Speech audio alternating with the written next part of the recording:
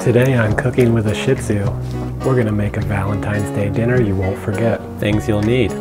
A mixing bowl, a mixing spoon, one Valentine stuffed animal, box of chocolates, Valentine shortbread cookie, plastic heart pieces, cinnamon candy hearts, those little Valentines you used to give out in elementary school. Cause face it, you don't have any friends. A few roses, flour, measuring spoon, bottle of red wine, and a Shih Tzu.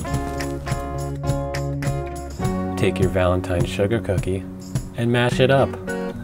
Smash, smash, smash, smash, Hulk smash, smash, smash, smash cookie, smash.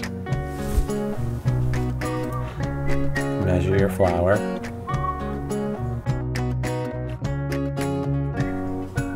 Mix, mix, mix, mix, mix. And pour the entire bottle of red wine in.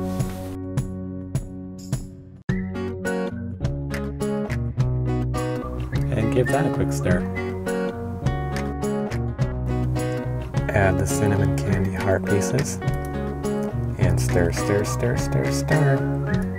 Add those plastic heart pieces and stir some more. Don't forget the box of chocolates, just add the whole thing. Throw that plush in there and give it a quick stir again.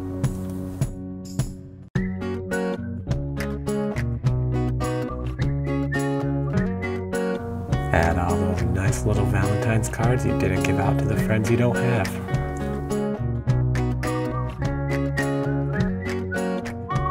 Don't forget the roses. Just go ahead and use your hands on this one. It's a little bumpy. Stir, stir, stir. Mix, mix, mix.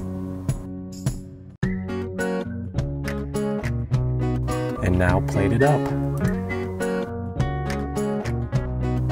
And enjoy.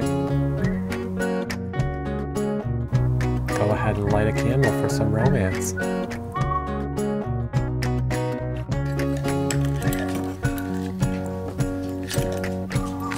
Mmm, this looks so good. And enjoy this delicious Valentine's dinner with your favorite Shih Tzu.